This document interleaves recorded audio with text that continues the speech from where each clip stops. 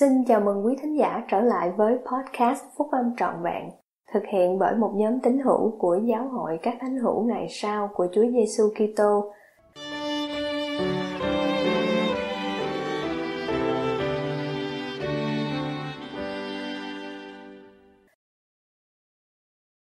Sứ điệp của đệ nhất chủ tịch đoàn Lời tiên tri và sự mặc khải cá nhân Bài của Chủ tịch Henry B. Eyring đệ nhị cố vấn trong đệ nhất chủ tịch đoàn của giáo hội các thánh hiểu ngày sau của Chúa Giêsu Kitô, đăng trong tạp chí Liahona tháng 4 năm 2016.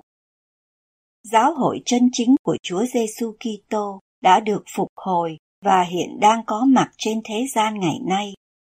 Giáo hội các thánh hiểu ngày sau của Chúa Giêsu Kitô luôn luôn được dẫn dắt bởi các vị tiên tri và sứ đồ tại thế là những người nhận được sự hướng dẫn liên tục từ thiên thượng. Mẫu mực thiêng liêng đó cũng đúng như vậy từ thời xưa. Chúng ta đọc trong Kinh Thánh. Cũng vậy, Đức Chúa Trời chẳng có làm một việc gì mà Ngài chưa tỏ sự kiến nhiệm Ngài ra trước cho tôi tớ của Ngài là các tiên tri. Thượng Đế đã phán bảo một lần nữa trong thời kỳ chúng ta qua tiên tri Joseph Smith, Ngài mặc khải qua tiên tri Joseph, phúc âm trọn vẹn của Chúa Giêsu Kitô. Ngài phục hồi chức tư tế thánh của Ngài, cùng với các chìa khóa của chức tư tế đó và tất cả các quyền hạn, quyền năng và chức năng của quyền năng thiêng liêng của chức tư tế. Trong thời kỳ của chúng ta, các vị tiên tri và sứ đồ tại thế được cho phép nói, giảng dạy và hướng dẫn với thẩm quyền từ Thượng Đế, Đức Chúa Cha và Chúa Giêsu Kitô. Đấng cứu rỗi đã phán cùng vị tiên tri. Những điều gì ta là Chúa đã nói, ta đã nói, và ta không miễn giảm cho ta. Và dù trời đất qua đi, những lời ta sẽ không qua đâu mà sẽ được ứng nghiệm, dẫu bằng chính tiếng nói của ta hoặc bằng tiếng nói của các tôi tớ ta thì cũng như nhau. Trong đại hội trung ương, hai lần mỗi năm, chúng ta được phước có cơ hội để nghe lời của Chúa dành cho chúng ta từ các tôi tớ của Ngài. Đó là một đặc ân vô giá. Nhưng giá trị của cơ hội đó tùy thuộc vào việc chúng ta có nhận được những lời của Chúa đó do ảnh hưởng của cùng một thánh linh mà đã ban cho các tôi tớ đó không? Giống như họ nhận được sự hướng dẫn từ thiên thượng thì chúng ta cũng phải như vậy. Và điều đó đòi hỏi ở chúng ta cùng một nỗ lực thuộc linh. Cách đây nhiều năm, một trong những thành viên của nhóm túc số 12 vị sứ đồ đã yêu cầu tôi đọc một bài nói chuyện trong đại hội mà ông đang chuẩn bị cho đại hội trung ương.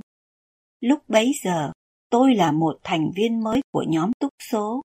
Tôi cảm thấy vinh dự khi được ông tin tưởng rằng tôi có thể giúp ông tìm thấy những lời mà Chúa sẽ muốn ông nói.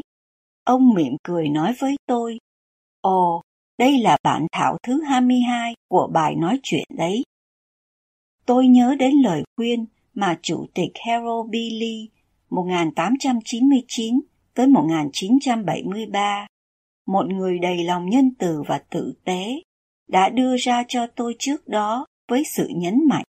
Hal, nếu anh muốn nhận được sự mặc khải, thì hãy nỗ lực nghiên cứu học hỏi.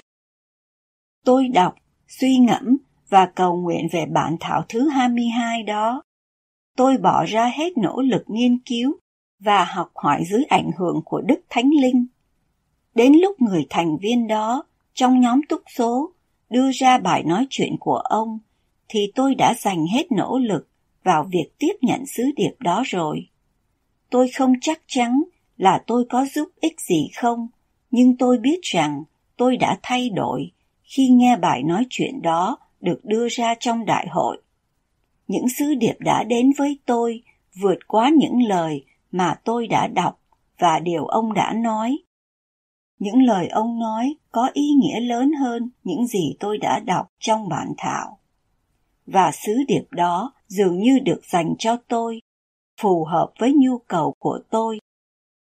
các tôi tớ của Thượng Đế nhịn ăn và cầu nguyện để nhận được sứ điệp mà Ngài đã ban cho họ để đưa đến cho những người cần sự mặc khải và xoay dẫn. Điều tôi đã học được từ kinh nghiệm đó và nhiều kinh nghiệm khác giống như vậy chính là để đạt được những lợi ích tuyệt vời mà có sẵn từ việc nghe các vị tiên tri và sứ đồ tại thế. Chúng ta phải tự mình nỗ lực để nhận được sự mặc khải. Chúa yêu thương tất cả mọi người mà có thể nghe sứ điệp của Ngài. Và Ngài biết tấm lòng và hoàn cảnh của mỗi người. Ngài biết lời sửa chỉnh nào, lời khích lệ nào và lẽ thật phúc âm nào sẽ giúp hiểu hiểu nhất cho mỗi người để lựa chọn và tiến bộ dọc trên con đường dẫn đến cuộc sống vĩnh cửu. Là những người lắng nghe và xem các sứ điệp của Đại hội Trung ương, đôi khi sau đó chúng ta suy nghĩ, tôi nhớ rõ điều gì nhất. Hy vọng của Chúa dành cho mỗi người chúng ta là câu trả lời của chúng ta sẽ là tôi sẽ không bao giờ quên những khoảng khắc mà tôi cảm nhận được tiếng nói của Thánh Linh trong tâm trí tôi cho tôi biết điều tôi có thể làm để làm hài lòng cha thiên thượng và đấng cứu rỗi. Khi chúng ta lắng nghe các vị tiên tri và sứ đồ, và khi chúng ta hành động theo đức tin rằng sẽ nhận được sự mặc khải cá nhân đó, thì chúng ta có thể nhận được sự mặc khải. Cũng giống như lời Chủ tịch Ly đã nói, tôi biết đó là sự thật từ kinh nghiệm và qua sự làm chứng của Thánh Linh.